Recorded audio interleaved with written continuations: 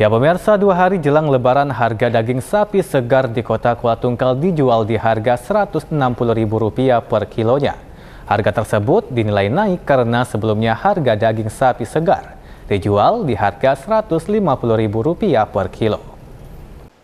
Kebutuhan masyarakat terhadap konsumsi daging sapi segar untuk menu lauk santapan Hari Raya Idul Fitri cukup tinggi.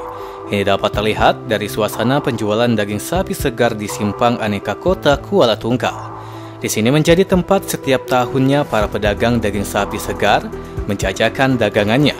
Terutama pada momen Hari Besar Islam, para pedagang musiman ini biasanya dapat dijumpai. Ramainya pembeli daging sapi segar dirasakan oleh para pedagang. Tingginya animo masyarakat akan konsumsi daging sapi segar juga dibenarkan oleh Rizky yang merupakan salah seorang pedagang daging sapi segar menurutnya. Jika dibandingkan pada tahun lalu, tahun ini animo masyarakat untuk membeli daging sapi segar cukup ramai.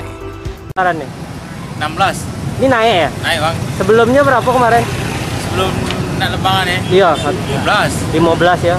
Kalau untuk penjualan sendiri kayak mana? Rame tak tahun ini? Lumayan ramai lah Eh, dibandingkan tahun sebelumnya ya? Iya. Eh, Hal serupa juga diungkapkan Saparudin bahwa berjualan daging sapi segar pada tahun ini menjadi berkat tersendiri bagi dirinya, di mana pada dua tahun belakangan berjualan, penjualannya sepi pembeli.